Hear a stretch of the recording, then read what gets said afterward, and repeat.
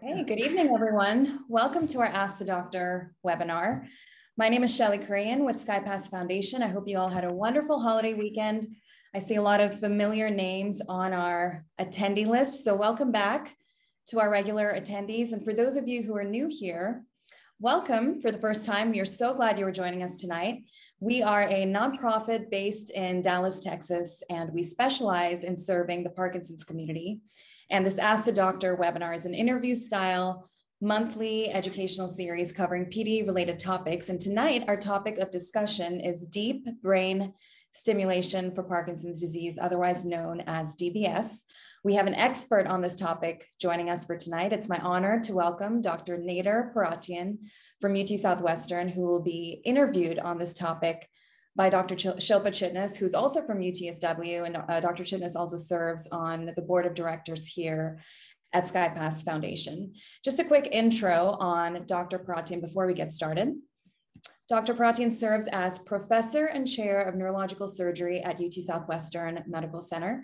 He brings extensive clinical expertise in the surgical management of movement disorders, psychiatric disease, and facial pain syndromes using brain stimulation, targeted ablation, radiosurgery, and microsurgical techniques.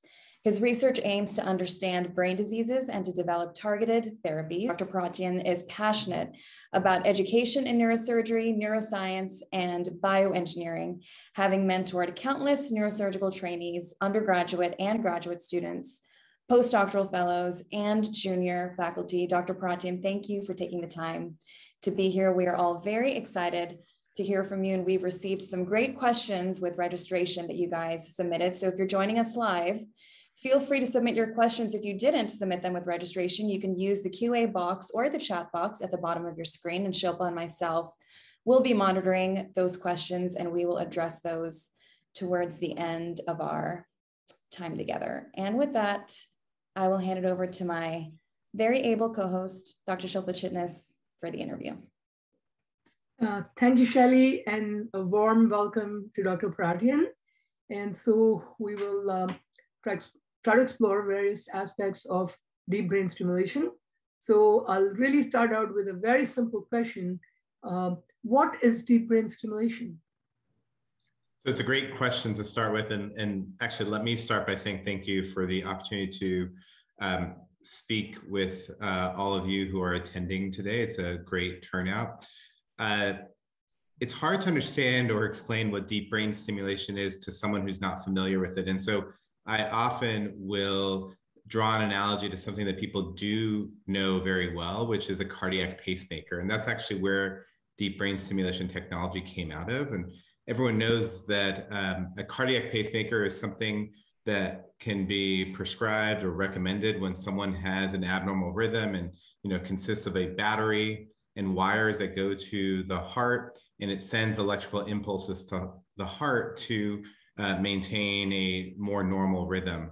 And deep brain stimulation is not too different from that, except that uh, instead of the wires going from uh, the battery to the heart, it goes into the brain. And we call it deep brain stimulation because the targets we use are, are deep within the brain. And uh, again, just like a pacemaker, it sends electrical impulses uh, to the brain in order to uh, try and restore a more normal pattern of activity um, and then improve the symptoms for patients. So it's, it's, it's a brain stimulator just like a cardiac pacemaker is. Yeah, wonderful. And when uh, was it approved in the United States? So uh, originally, deep brain stimulation was approved in the late 90s, I believe in 1997 for uh, tremor. Uh, and uh, the for essential tremor, not for tremor related to Parkinson's disease. And then it was in the early 2000s that deep brain stimulation uh, received FDA approval for Parkinson's disease. So we often like to talk about it as a new and advanced therapy, but we've actually have multiple decades of experience with it and uh, perfecting the techniques and really having a good idea of which benefit, which patients to treat with this type of therapy. Yeah. Um, and if you can tell our audience as to how does deep brain stimulation actually really work within the brain? It's a good question. And I, I might kick that right back to you in a second because we don't actually know how deep brain stimulation works. I'll, I'll tell you a little bit about how um, it was conceptualized, and then uh, very briefly about some of the research that's being done. Um, but you, you know, it, it, used to be that before we did brain stimulation, uh, surgeons would actually put a probe in the brain and burn a part of the brain. And that would provide relief of certain symptoms, including for Parkinson's disease. Uh, and it was uh, in France that the, the modern era of deep brain stimulation came to be. And the thought was that brain stimulation would basically jam the circuits. And by delivering a lot of electricity to that part of the brain, it would cause a temporary lesion, that it would interrupt the electrical activity and therefore um, block that part of the brain. Now we think of it slightly differently, and uh, that's why I use the analogy of the cardiac pacemaker. And uh, you know, just like the heart has rhythms, and it could have an arrhythmia or an abnormal rhythm, we, we're learning more and more that the brain has abnormal rhythms as well, just like you can see on the EEG, but you can record directly from in, within the brain. And we think the brain stimulation restores a more normal pattern of uh, brain rhythms, and, and, that's related to improvement in symptoms. Yeah, very much so. Um, and so, what conditions is uh, the brain stimulation approved for currently? So for a long time, that was a very limited answer, uh, although it's expanded recently.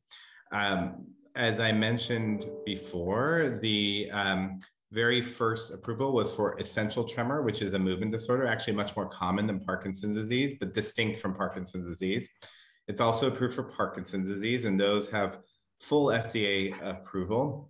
Uh, there was a uh, subsequent approval for dystonia, which is another movement disorder, although I won't get into details, but a slightly different type of approval from the um, FDA, but still enables surgeons to deliver the therapy. Subsequent to that, we got uh, approval for obsessive compulsive disorder, uh, again, with that limited type of approval. And finally, the most recent one, uh, if I'm not forgetting anything, is for uh, epilepsy, which has received a full approval from the FDA. So really five diagnoses, essential tremor, Parkinson's disease, dystonia, obsessive compulsive disorder, and most recently epilepsy. Yeah, wonderful. So we'll try to zero down and focus more on Parkinson's disease today. And so the question is that, is everybody with Parkinson's disease just automatically a candidate? And if no, then who is a good candidate for DBS? It's a, a fantastic question. Um, and uh, the short answer is uh, it might, it might depend on who you speak to. But I think the most common uh, belief is that not everyone is a candidate for deep brain stimulation surgery. And it's not even to say that at some point, uh, it, it's not even true that every patient at some point will be a candidate, because some people will argue that. Um, so it's definitely true that not everyone is currently a candidate. And I think it's even not true that not every patient will be a candidate at some point, meaning um, there are patients, maybe I'll go to this fact. Every patient with Parkinson's disease is different. There's a different combination of symptoms. There's a different pattern of progression. There's a different response to medication. And there's a different progression of how people respond to the medications. And so it's hard to uh, for me to say that everyone is a candidate for deep brain stimulation. The people, um, and there's a, a, couple different groups of patients that we consider for deep brain stimulation. And it's primarily people who have disabling symptoms from motor symptoms. As we know, Parkinson's disease has many symptoms beyond the motor symptoms. Um, and it's for people who have, first and foremost, a good response to Parkinson's medications, really carbidopa, levodopa. Uh, you know, if you have a good response, but you know, maybe your response is inconsistent, or maybe when you take the medications, you get too much dyskinesia, so those excess movements that could be associated with Parkinson's disease, or maybe the dose wears off too quickly, so you get a good response, but then you have uh, rapid wearing off or unpredictable wearing off it's those patients, again, who respond well to the medications, but the medications are somewhat erratic in how they treat the symptoms. And so what I'll tell people is, you know, if you have a really good response to carbidopa, levodopa, and you feel like your life would be significantly better if you could have more time in that best on condition, then deep brain stimulation is probably uh, a consideration for you, assuming you don't have other disabling symptoms. There's one, there's two groups that I'll, I'll mention uh, as an aside. The one motor symptom of Parkinson's disease that may not respond to medications, but will respond to deep brain stimulation is tremor. Um, and tremor is variable. Sometimes it responds to medications, sometimes it doesn't. But there are patients with tremor dominant disease who don't get better with medications, who will get better with stimulation. So that's one group. And then there's a very rare group, although it's definitely a, a group that we treat, who are patients who are just intolerant of the medications due to severe side effects. And so we consider surgery earlier on because we just can't get them therapeutic on medications. So it's a, it's a mix of symptoms and a mix of patients. But to answer your first question, to come full circle, it's definitely not every patient who should be treated with deep brain stimulation. Yes, I think this is a really good answer. Uh, so just to follow up with that, which patient with Parkinson's disease is definitely not a candidate? Ooh, that's a that's a difficult one because I think there's a, a, a couple. I think that the ones we think of the most are um, well, two. Um, I think if if we can't see a definitive response to carbidopa levodopa, you know, people who say it just doesn't work well enough and I need something better, that's a red flag for us because it makes us really think about whether the diagnosis is even correct. Because as you may know, uh, there are patients who have Parkinsonian symptoms but may not have Parkinson's disease.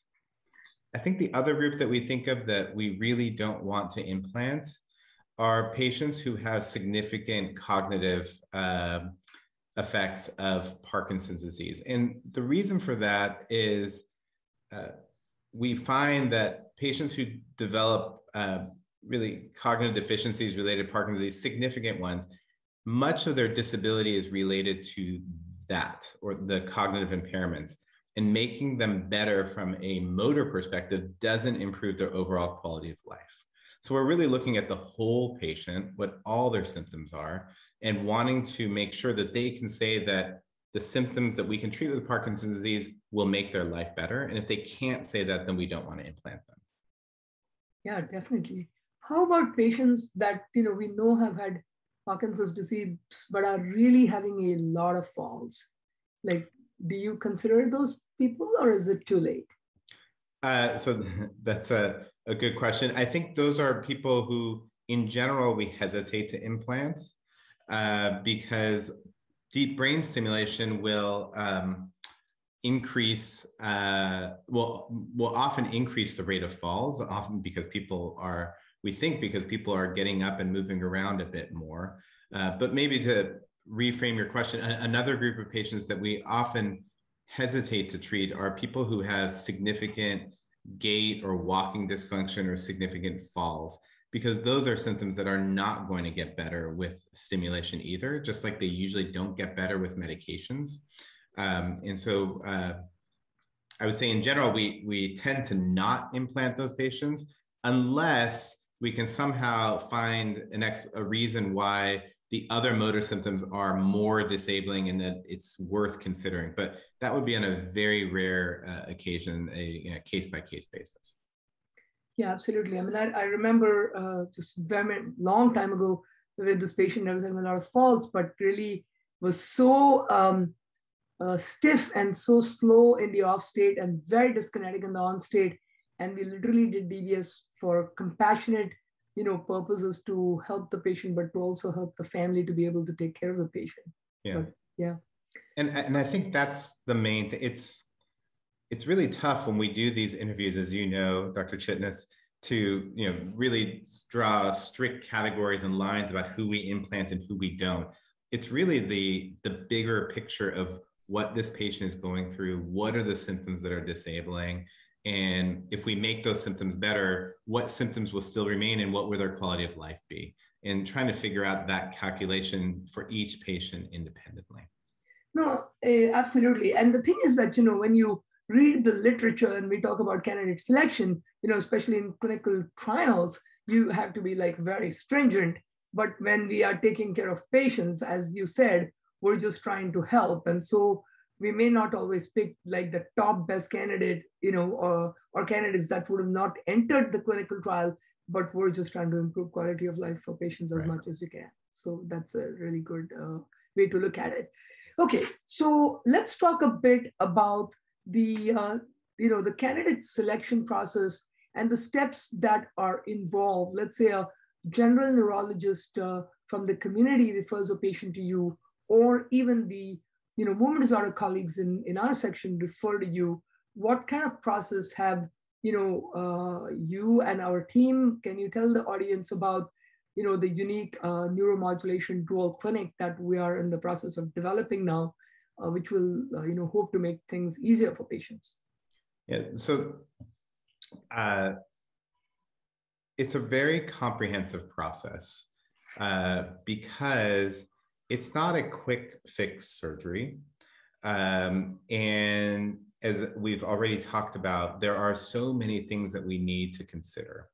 Uh, and in my mind, even though patients get referred with a diagnosis of Parkinson's disease, and as I said, I treat other diagnoses as well, the first and foremost thing is to evaluate and confirm the diagnosis. And that is why um, I work so closely with our neurology colleagues, including Dr. Chitnis and others, uh, to make sure that the patient has been evaluated and been uh, managed by someone who really knows a lot about uh, managing Parkinson's disease. There are some excellent uh, general neurologists who manage Parkinson's disease extremely well. But when you're getting to the point of considering deep brain stimulation, that means you have pretty advanced disease and you need someone who has a lot of experience uh, managing the medications and knowing how to refine the medication. So I think having a movement disorders neurologist is, is key uh, to uh, ensuring the diagnosis as well as making sure that medical management has been optimized as much as possible.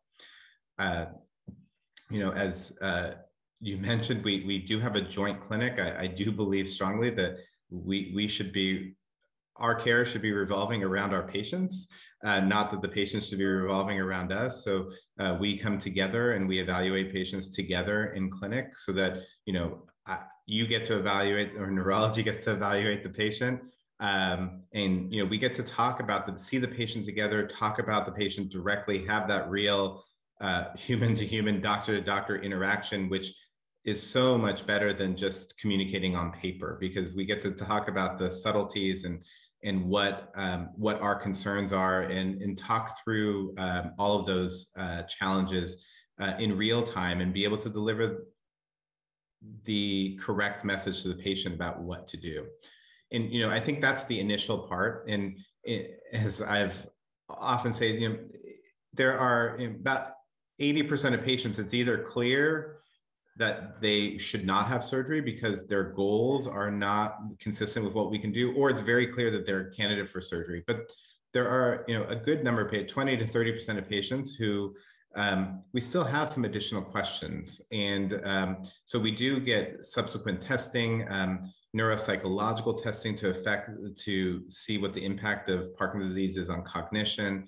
Um, if appropriate and if needed, um, we, we, might get a physical therapy assessment to uh, see um, other therapeutic needs of the patient. and the last, and you know, we have to get a brain MRI. So that's another part of the preparation the last thing I forgot to mention, which is an important part of the neurological evaluation, is, is really seeing patients in an off condition and an on condition, seeing that response to carbidopa, levodopa, so that we can, again, predict or have a, have a sense of how to counsel the patient about what to expect from the surgery. I think I, I got all that. The, the, so it's, it's a lot, it's a big process. I, I tell, I'll tell my patients, you're, you're, you're basically marrying into the family because once you get a deep brain stimulator, you're you're with us and, and we take care of you and so we want to make sure that we we understand you we can counsel you correctly and that um, you know what to expect absolutely and just just for our patients to know how long do you think approximately it would take from the time that a patient is referred until the, the you know time that they are implanted Um, we're still working that out. Uh, so uh, in general, I would say it's probably on the order of, you know, from, from the time that you see us in clinic to getting surgery is probably on the order of two to three months if everything goes smoothly. Um, although, you know, because of our comprehensive evaluation, it might take a, a, little while to get into clinic as well because it's coordinating two of our schedules. Um, so it might take a couple months on that side as well. So uh, two to three, uh, up to two to three months to get in and see us, and then uh, two to three months uh, to get the surgery done. Um, and maybe I could sneak ahead. I don't know if you're going to ask this question, but it's an important one. Is you know patients get very worried that they are going to run out of time and that time is of the essence. In truth, most people thinking about deep brain stimulation, it takes them a couple years to even come to see us because uh, there's so much anxiety about the idea of brain surgery, and I, I get it. Um, but you're not really running out of time. There isn't a, a closing window um, where you know once you get to a certain age or once you've had disease for a certain number of years, you're no longer a candidate. It's more of a holistic impression of where you're at with your disease, what your symptoms are, can we help you? Uh, so that in related to that, again, you might be asking this later, but I'll skip ahead if, if that's the case. Um, the, the, the stimulation, it's, it's a symptomatic treatment. We're not changing the disease. So it's not like getting the surgery sooner is going to change the course of your disease and that you've got to rush in and do it. Um, if we turn the stimulator off, you're going to be exactly where you started. So um, really doing it right is more important than doing it fast, although obviously we do want to take care of you as expeditiously as possible. No, absolutely. And if I can add just a few things that um, you know, in all humility, being a movement disorder neurologist that's trained in candidate selection. Now, if I get a patient that I am taking care of, and so I will definitely start looking at that patient as a candidate. You know, the minute somebody starts to develop dyskinesias or a little bit of wearing off in between dosages, my radar, you know, goes up to at least start thinking about DBS. I think uh, it is our goal with myself and Dr. Pouratian to also educate the general neurology community uh, to be able to identify these patients you know at, at an appropriate time in their journey i think that's you know that's really uh, critical i think um, it, it, takes time it, it takes it's a it's not an overnight quick it, it's when we get an urgent referral for dbs it's a little bit concerning that the expectations are not in the right place yet so it's important for us to slow down yes absolutely um, and then do you believe in the, you know, the data with orally stimulation? Like, is, is that something that you believe in? And do you think that that is going to help? Uh, is that going to result in better quality of life if you do the surgery earlier rather than later? So I'm not, um, it's a good question. There's a lot of interest in early stim, and early stim actually refers to almost, has different references. Um, you know, there's there's even some studies driven out of a, the group from Vanderbilt, as you know, uh, that's interested in doing deep brain stimulation. You know, early on in diagnosis, within the first couple of years, before you develop a lot of the symptoms that we're talking about. Yeah. There is not a lot of great data to support that, that there's an advantage. I don't think that they've shown that it's harmful. Uh, but we just don't know that it, there's an advantage yet. And they are they're planning a large study to try and address that, although they've been planning that for many years, and it's been hard to um, move that trial forward. Um, but you know, I'll, I'll, also say that I've treated patients within a couple of years of their diagnosis of Parkinson's disease, even though I, I can't remember exactly what the FDA labeling is in terms of how long people have to have disease. I think it's four years. Four years, yes. Um, mm-hmm. I guess I do remember, but uh, but yes, for me, that, that those years, it just it's somewhat irrelevant. I, I, I, treat the patient and their symptoms and where they're at. Some people just, for one reason or another, rapidly progress and become fluctuators and and have an inconsistent response. And that could be within three years of diagnosis. And if that's the case, I'm going to treat you. I'm not going to wait for the four year time. Um, but I, I just when I talk about that, I also want to highlight that you know there are patients who have Parkinson's disease that I never see that have a diagnosis for 15 years or more who are managed very effectively on medications and, and do well um, or, or, do well enough and never need to have surgery. So that it's every patient is different.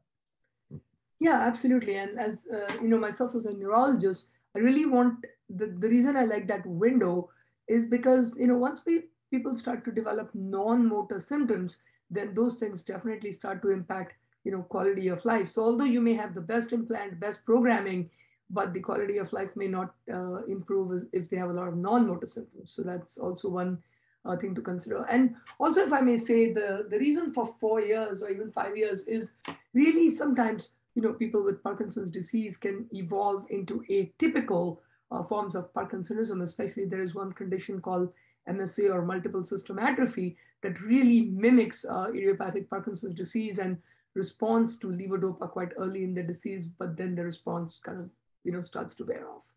Yeah, and I, I think that's a great point and that's why I work with neurologists because um, I think uh, you know I've been doing this for many years, so I'm I'm pretty good at picking up Parkinson's disease and, and not Parkinson's disease. But the, the people who are very early on and we're thinking about stimulation, it's even more important. It's always important, but it's even more important to include a movement disorders neurologist to make sure that we're not missing any red flags or that something else isn't going on. Uh, because we really don't want to treat the non Parkinson's disease patients because they're not going to really derive a benefit from stimulation. Absolutely. So let's switch gears a little bit, uh, Dr. Pouratian. Let's talk about the actual surgical process. What can you tell our patients and families about just quickly about the surgical process itself? So, you know, besides, uh, you know, I talked a little bit about what we need to do before the day of the surgery, uh, which is all the testing and the MRI you know, we use the MRI before the day of the surgery or before the surgery to plan out uh, precisely where we place the electrodes for each patient. So your MRI becomes my roadmap to your brain. On the day of the surgery, our goal is to get the electrode in the right spot. And there are now many different ways to do this. Um, and the most traditional, the most, the way that we have the most experience with doing it is with uh, something called the stereotactic frame, which if you've looked on YouTube, it's a it's almost like a box that gets fixed to your skull. Um, it, it does look archaic. It's been around for multiple decades, but it works extremely well. And, uh, you know, we have a lot of experience with applying that frame, but that holds your head still. It also gives us a coordinate system or basically maps out where your brain is relative to the frame so that we can put the electrode in your brain. There are other ways of knowing where your head is uh, using what, what's called frameless or mini frame systems, uh, which are, you know, lots of studies showing that those are probably, uh, not probably, are, are equally as good. I don't think one is better than the other. What's best is to uh, let your surgeon do the way that they have the most experience with, because what they have the most experience with is where they're going to be most accurate uh, most precise and get the best outcome. So um, you, you want your surgeon to do it the way that they uh, know how to do it in terms of the frame placement. And then in terms of in the operating room, so we, we can plan, we can know where we want to put the electrodes. Um, again, the most traditional way of, of confirming that we're in the right spot is to do some recording. So we record from the brain as we pass the electrode in to uh, know that uh, we're hearing the firing pattern of the individual cells in the in the target that we're uh, putting the electrode in, um, and then we will turn the stimulator on and we look for the benefits from the stimulation right there in the operating room, which means the patient is awake, um, and we're looking both for therapeutic benefits. We're also looking for side effects uh, on purpose because we know what structures are near our targets and we want to know how far away we are, how much of a window we have for our neurologist, like Dr. Chitnis, to program the patient post-operatively so we can get the maximum benefit. There are other ways that have more recently uh, evolved and uh, less studied, less experienced, looking like it's probably as good, although um, not studied in the same way as what I've just described for you, which is to do it with a sleep implantation, which means under a general anesthetic, using either an MRI to guide the implantation or using um, a CT scan to confirm that the electrode's in the right spot. I think there's uh, experience mounting with that. I'm comfortable doing it. We do it for some patients. Um, you know, if a patient has extreme anxiety, then we're more than happy to do it uh, one way or the other, just working with the patient to get it done. But so it's really a matter of planning and then confirmation And um, we do the brain surgery on one day, we leave the electrodes under the skin. Then we have a separate small surgery about one hour long. That's when we put the generator in the chest and connect everything up before you follow up with neurology for the programming. Yeah, very good. And so, um, can you tell us about some potential complications of DBS surgery? Sure. Uh, so the the you know we've told you what to expect from the surgery, uh, which is you know more on time. Um, and this isn't really a complication, but it's it's an important part of the expectations. It's not going to be perfect. So it's not that you get the surgery and I cringe when people say it's going to make my Parkinson's disease go away or it's going to reverse my disease five years because I don't think those are accurate representations. I think um, you know some people might consider this not a good outcome, but you're still going to have dyskinesias a little bit. You'll still have dystonias a little bit. You'll still have off times a little bit, but you'll have far fewer hours in the day without those symptoms. So if you consider that not a good outcome, it's something important to know about. It's, it's not perfect, but it's really, really good. Um, but other complications, you know, operating on the brain, everyone's concerned about bleeding in the brain or having a stroke. It's about a 1% risk, one in a 100 chance of having a stroke. And it could be any array of symptoms. It could be cognitive changes, it could be weakness, it could be problems with walking or speech difficulties. Um, usually mild, usually not disabling, but it can be. The chance of bleed of dying or have, you know mortality is extremely low. I've never seen someone die from a surgery like this, but any surgery there's there is that risk.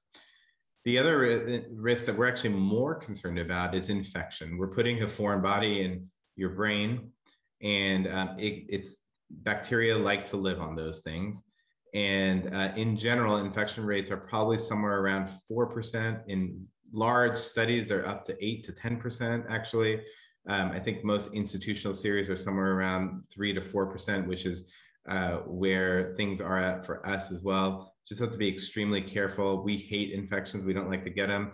It's not the end of the road, but it is a big bump in the road. And uh, it usually does require a partial explant. Uh, and then you can put the device in after the infection is treated. Other, you know, other things, there's a small risk of seizures just for the first day after the surgery. Um, medical complications, you know, if you're older, there's a risk of heart attack, of blood clots in the legs or lungs, um, other, you know, medical complications. And, uh, you know, devices, the, with the new devices, the, you know, there's three companies uh, approved in the United States they're all really good. Um, I think what we used to see in terms of uh, device related complications are probably going to be fewer and fewer, uh, which is good. Uh, but still, you know, batteries will run out. You need to get the batteries replaced unless you have a rechargeable system. Um, and then the stimulation can cause side effects. So sometimes, you know, our whole goal of stimulation is to make you better, but the stimulation itself could cause personality changes, speech changes, uh, motor responses those are seen, the nice thing about stimulation is we can turn it off, we can turn it down, we can change the direction of the stimulation, we can try and reduce those side effects, especially with the, the newer technologies that are out these days. Yes, absolutely. And you know, one question that patients always ask me is, how can you be sure, Dr. Chitnis, that the wires are going to land in the you know right spot? Of course, if somebody has experienced it, you that's not a problem. But what special measures you take to ensure that the wires in the right spot?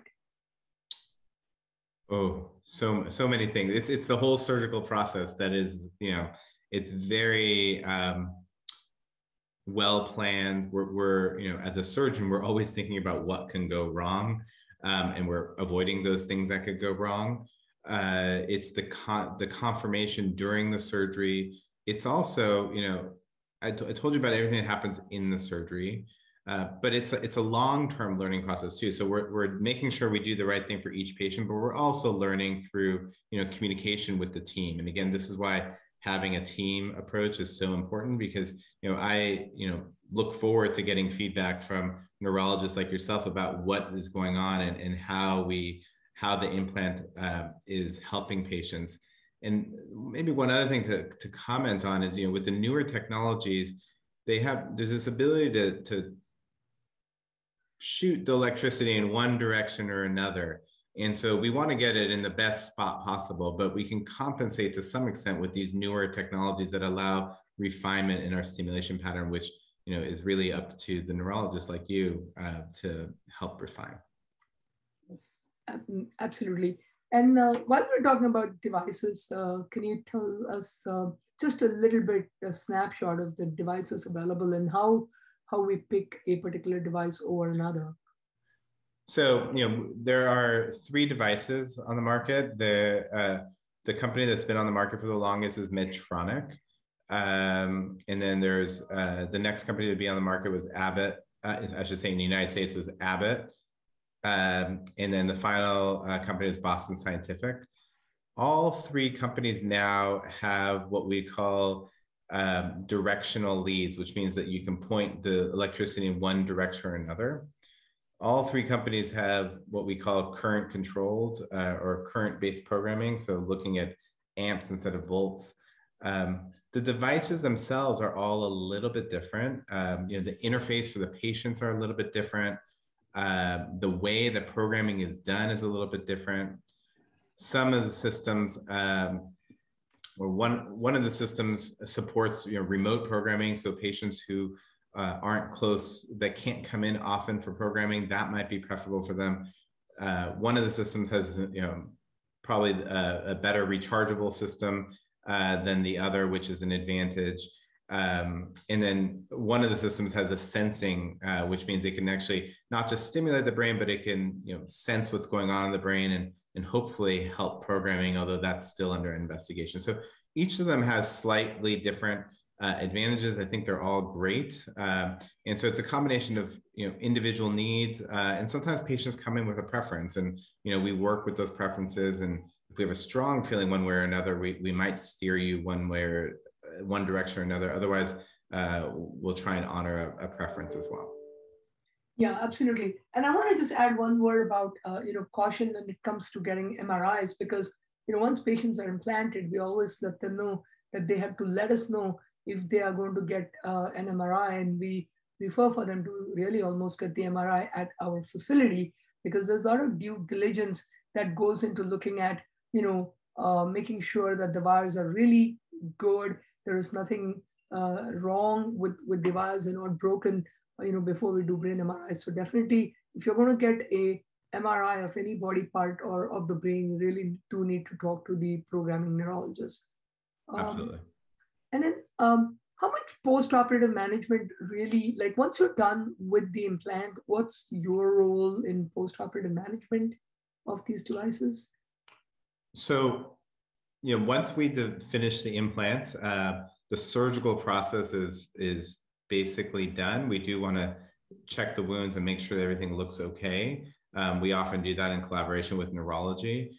Um, but then the programming is what starts. And I think it's an ongoing debate whether the surgery is harder or the programming is harder, but they're both critical portions. Um, for me, it's it's not that the surgery, the surgical management continues, but I do love to see and hear about how my patients do. But I, am often not directly involved in the in the care of the patients uh, after the implant. Yeah. Um, and then how long do the effects of DBS uh, you expect for them to last uh, and for the patient to continue to get improvement? Yeah, it's a it's a tough question uh, because you know we have patients, as you know, who were implanted 10 or 15 years ago and still come in for battery changes, which means they still it's not that they're as good as they were 10 or 15 years ago their disease has progressed but they can definitely tell when their generator is starting to run low or when their battery is off and so they still have that therapeutic benefit. And it's a the, some of those are interesting cases because now they've developed some cognitive deficits and they wouldn't be people that we would normally implant if they came in anew. Uh, but I, I have definitely seen patients with continued benefit from stimulation for over 10 years uh, despite disease progression. Yeah, absolutely. And, and, you know, now that we have other advanced therapies such as the Duopa, uh, you know, levodopa carbidopa intestinal gel pump, that we've been able to combine both DBS and after many, many years, like, you know, consider Duopa, especially if they are not getting good on time. But I think dyskinesias, we've always been able to manage pretty well with DBS. Don't you think? Yeah. Uh, yeah and and so um, and my really my last question and i'm to uh, look at the questions from the patients is Are there any other surgical alternatives to DBS therapy and when would you consider them? So there are, um, you know, as I start, you know, deep brain stimulation emerged out of the area of uh, lesioning the brain. And we can still lesion the brain. We can still do a pallidotomy, although it's rarely done anymore. We can do a thalamotomy also, which is to burn a part of the brain uh, with, you know, putting a probe in and burning the thalamus, which helps the tremor. The most recent um, FDA approval actually came for something called focused ultrasound, um, which is a uh, incisionless technique. You still put a frame on, and you focus all this ultrasound energy through the skull to increase the temperature in the thalamus and create a lesion in the thalamus. And that will help people with tremor dominant Parkinson's disease. It can help their tremor. Um, and uh, so that is an, an, another alternative that can be considered, but we should recognize that it doesn't help the other symptoms of Parkinson's disease. So um, doesn't help the rigidity or the bradykinesia or definitely the non-motor symptoms. Yeah, absolutely. And thank you so much, Dr. Pouratian. And I'm gonna now um, look at the questions that are from uh, the patients. One of the questions is, to what extent is age a factor in determining eligibility for DBS? So I, I hope I, I made that clear. Um, you know, age itself is not a factor. Um, I've implanted young onset PD patients. I've also implanted PD patients in their early 80s. Um, I haven't really gone beyond early 80s, but not because of the age. It's usually because of the symptoms that develop. Uh, so I, I, you know, I can see a 65 year old patient who, you know, has cognitive impairments and I'm not going to implant. Um, and I could see an 80 year old patient who's sharp and, you know, it is the motor symptoms that are the disabling symptoms and I'll implant them. So it's a, it's not chronological age. It's more of the, the symptoms. What is your oldest uh, patient? So not with Parkinson's disease. My oldest patient I've implanted with uh, deep brain stimulator was 91 with essential tremor. Oh, wow. You beat me. Uh, Mine was 87. so, but that was, you know, a very, not Parkinson's disease, very sharp patient who really wanted tremor control. So um, that it's unusual. I wouldn't say that's common, but it can be done. Yeah, absolutely. And someone wanted to know that if they had both Parkinson's and essential tremor, would, would you consider implanting them? Absolutely. So, you know, Parkinson's disease and essential tremor, you know, they're both common enough that you can get both diagnoses uh, and they can run in families that way. Uh, but yes, the, the, it just, again, it depends on what your symptoms are, what your goals of treatment are, but one does not preclude the other. Uh, so having both diagnoses doesn't preclude you from stimulation. And have you used uh, two different targets, uh, like two different leads and two different targets? I I've definitely done that in some patients, but I can't remember if it was a PDET patient. Uh, but we can sometimes, you know, in depending on patient symptoms, sometimes we'll put two sets of electrodes on each side of the brain in order to achieve the symptomatic goals of our intervention. Uh, it can be we sometimes it, you have to be creative. Yeah, absolutely. Uh, use rescue leads. So uh, this is a question that I think you answered, but I'll still kind of. Uh, so somebody wants to know if I'm a good candidate for DBS now, and I decide to wait, what's the likelihood I'll still be a good candidate in six months or a year? And are there any factors that would make me a bad candidate in the future? Um, so hopefully, uh, yeah, this was early on in the presentation. Hopefully there's a better feeling for this, but I'll try and answer it briefly. Essentially, you know, I, I think six months rarely significantly changes someone um, or a year unless you know once someone starts developing some cognitive impairments related to parkinson's disease especially in the memory domain it, it could progress somewhat uh, quickly. Um, but in general if you're a candidate now you'll be, probably be a candidate in six months or a year. Uh, but i always you know if someone hasn't i haven't seen someone in a if i see someone today and i recommend surgery and they call me in a year from now i'm going to want to see them again. And I'm going to want to talk about their symptoms and in how they're different or how they're the same. It's not a foregone conclusion to automatically implant you, but I think in most cases they do. And, and the biggest uh, the factors that would preclude future candidacy, again, the cognitive issues. And then if you start developing, this is something we haven't talked about, so it's important. Um, freezing of gait um, is a symptom that Um, if it's not responsive to medications or you develop dominant gait symptoms that are disabling, that also gives us pause and, and may change the course of our recommendation. Yes, absolutely. Um, so um, some are saying to get DBS sooner because it halts PD progression. Is this backed by science uh, and evidence? So there's only one study of I, that I know of that suggests that there's any modification of disease related to deep brain stimulation for PD, and that was in the early stimulation study out of Vanderbilt, saying that the progression of tremor may change. Uh, but that was that study wasn't designed to evaluate that, and it's you know it's question it's it's not as clean as you want it to be. I think in general we do not believe deep brain stimulation to be disease modifying um, I think, and Dr. Chitnis can correct me, one of the only things we know that modifies disease and Parkinson's disease is exercise. And so that's the uh, primary thing that we would say is disease modifying. Yes, absolutely. Um, did you say non-responders to carbidopa, levodopa are not candidates for DBS? I think you guys. So the, yeah. the short answer is he correct. If you if you don't respond to carbidopa, levodopa, you're probably not a candidate for deep brain stimulation unless um, you're you're a non-responder because you're a tremor dominant patient who's not responding to carbidopa levodopa. So there's that um, subgroup of patients with tremor that don't respond to carbidopa levodopa.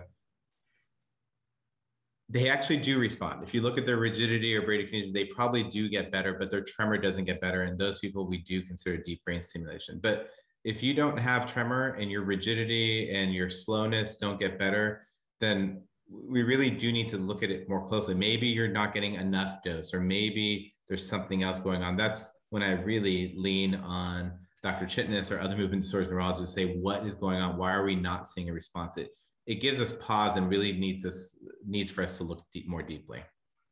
Yeah, and so if I can add to that, really one of the things that I always start to investigate is: Are you taking uh, you know, is it that you are not taking your medicines the right way, you're constipated, or is it that your disease is such that it will not respond to levodopa, carbidopa? Another point I'll add is we, we've seen this a little bit more. You know, uh, when I was in training, they used to say that if you have uh, slowly increased the dose of the medication up to a thousand milligrams, that's a gram of levodopa, and the patient has not responded, then you would say that they're not responding. But you know, we've learned more, and I think Alberto Espay has done a little work with this, where he says that there is a category of patients that require a even higher dose to be able to get the response. So the the you know the kind of the message for us is to maybe even try to go beyond that thousand milligrams as long as the patient is able to tolerate and see. And there's some patients that maybe respond at 1500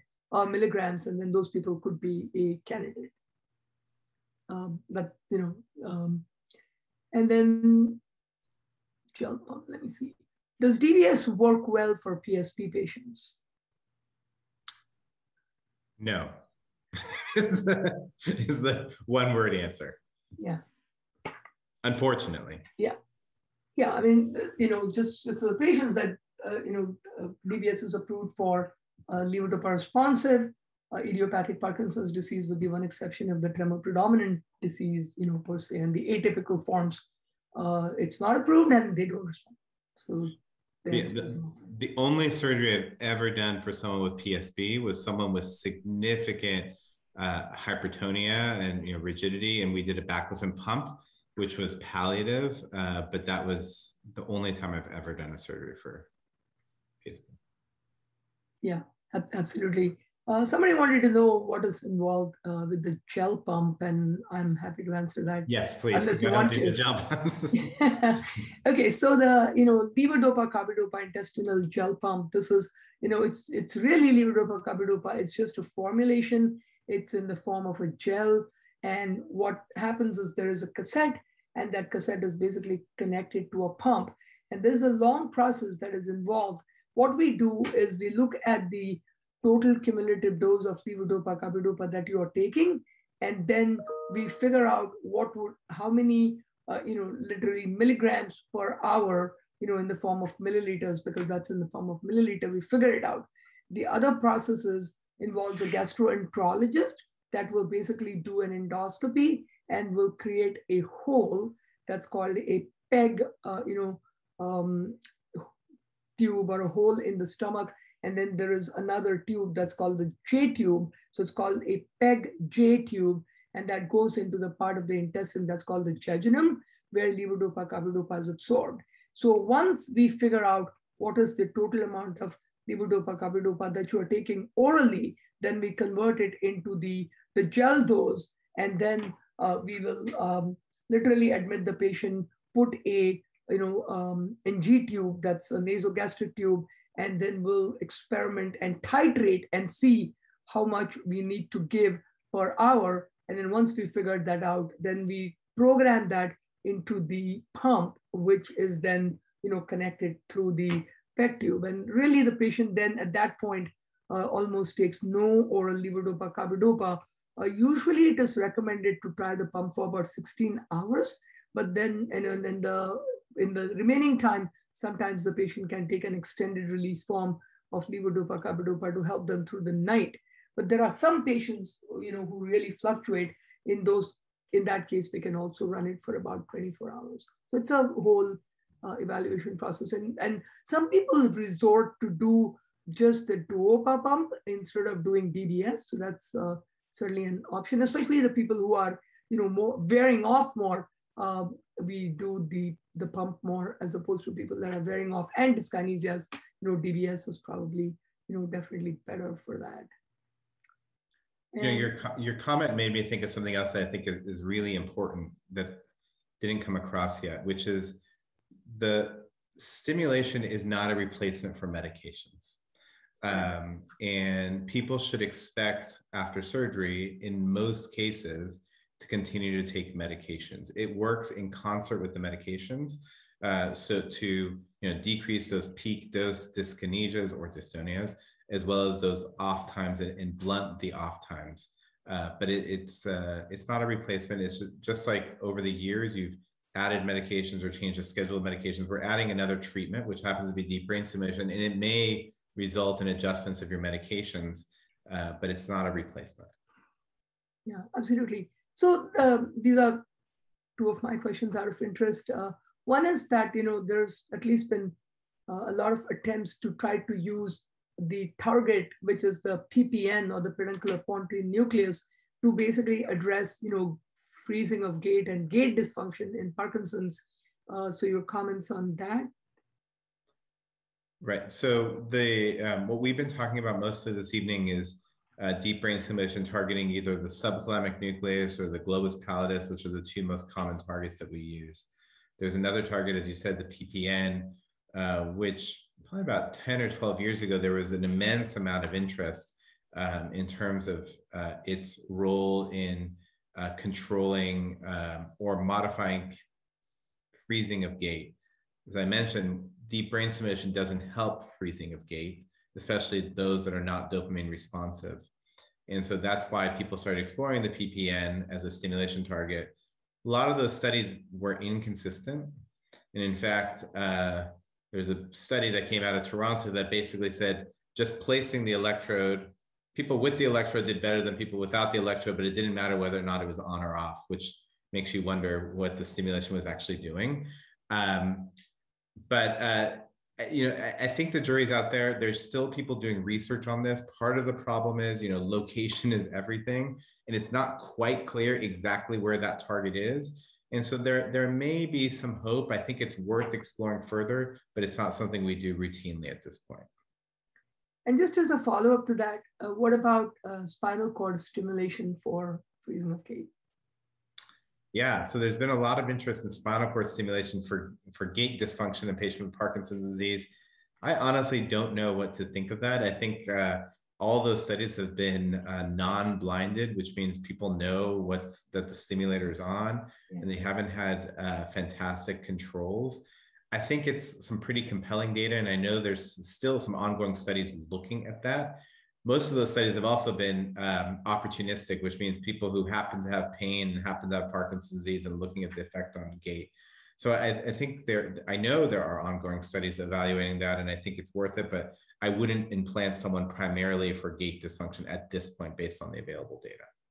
Yeah, absolutely. Thank you. And I want to just, uh, so somebody wanted to know that we started talking about the new program that we are running at UT Southwest, and then we stopped. So I'll just, uh, I'll say something and I'll let Dr. Pouratian add on. So previously, before Dr. Pouratian came here, the way we used to approach patients is that we got referrals from the community neurologist or within our section itself. And we really went through a early process of, you know, pre-evaluation where the patients came in off medication. We did off and on exam. We did a lot of gait lab testing. We did, you know, uh, various scales. We did some questionnaires, you know, where we looked at, um, you know, quality of life and, and mood. And uh, the thing is that this process not only is you know a relatively long process, but it takes a really long time before the patient can actually see either the neurologist who's going to be doing the programming and the neurosurgeon who's going to be doing their implantation. And so, you know, where I trained and where Dr. Pouratian came from, uh, you know, and Dr. Pouratian really wants to develop a patient-centric, you know, uh, head-on approach. And because of that, we have now developed uh, a, you know, this is a process in evolution and a neuromodulation dual clinic. So Nader, I'll let you pick up from there. Yeah, and so I, I mentioned this uh, a bit. Um, it is, the idea is that we communicate better as with our voices than we do through paper. Uh, and the idea is for us to be there and to evaluate patients together and to actively uh, collaborate and brainstorm and, and share what our concerns are, share where, where we think the opportunities are for each patient, and to you know decide together you know what um, the next steps should be and what the recommendations should be. And I have found in my experience, one, I think it delivers better care. There's less lost in translation. Um, and it's you know, patients tend to like it as well because they come to one place and you've got all the doctors coming around you and talking to you and answering your questions from the different perspectives. Because when people ask me questions about neurology or that are neurologically based, I immediately turn to Dr. Chitnis. And if they ask a surgical question, they then I'm there to answer them. The other thing that's really useful is it's confusing for patients after you get implanted because sometimes people will say, well, I don't know who to call. And having this integrated program is helpful because it doesn't matter who you call. You can call my office, and if you need Dr. Chitnis, we'll take we'll get you there. And if it happens to be a surgical question, then her office will get you to me um, without you having. You know, I, I think um, the onus should not be on you to figure out the medical system. The onus should be on us to provide the care for you. And so that's what we do by having this integrated clinic. Yes, thank you. And somebody just asked the last question. Uh, are you familiar with the robotic assisted DBS done by Dr. David VanSickle in Littleton, Colorado? Uh, I would think with the precision this procedure allows the surgeon to perform, why wouldn't there be more neurosurgeons being trained in this technique? Um, so a uh, couple things. One is we have the robot. We can do the robotic technique. Um, the robotic technique still requires the frame placement. Um, and the robot is actually really useful for a different type of surgery, for epilepsy surgery, where you're putting multiple electrodes in. Um, there's no data to support uh, that, especially for deep brain stimulation, that robot assisted implantation is any more precise or more accurate than uh, the way that we've done it. In fact, my experience is that the robot is, for this type of surgery, is less precise uh, than uh, doing it with a stereotactic frame. It sounds like it's better, that it's robot assisted, uh, but it takes, uh, it's not faster. And, you know, I'll give it, it might be just as precise, but it's definitely not more precise than uh, the way that we've done it historically. So it's, I don't think it's wrong to do it that way. I don't think there's a particular advantage. And I would think if you spoke to a, a bunch of neurosurgical experts who do this, uh, they probably agree with me and you know i guess to speak to that i can do it with a robot and i don't do it with a robot um, but there are people who do it you know my good friend uh, dr sheth who's at uh, baylor in houston uh, uses the robot um, and i know other people who do it's i think it's more of a I, I don't know. I, I don't know how to answer it except that every surgeon has their preferred way. I, there's no data whatsoever to support it's more accurate. In fact, across all the techniques, there's no single technique that has been shown to be more accurate or more precise. Yes, thank you so much. And with that, Shelly or Dr. Pouratian, thanks so much. And over to you.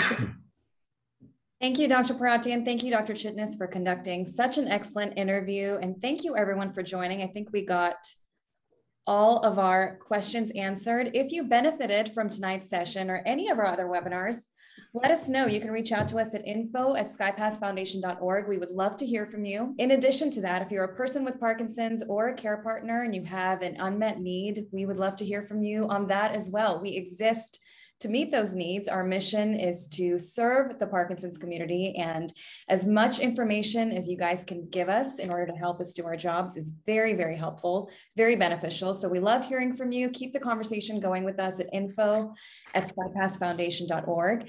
And lastly, registration for our October Ask the Doctor webinar will be open later this week by this Friday. So we will keep you posted on that. I'll be sending out an email with some information on that. And with that, we will call it a night. Thank you again, Dr. Pouratian. It was a pleasure to meet you.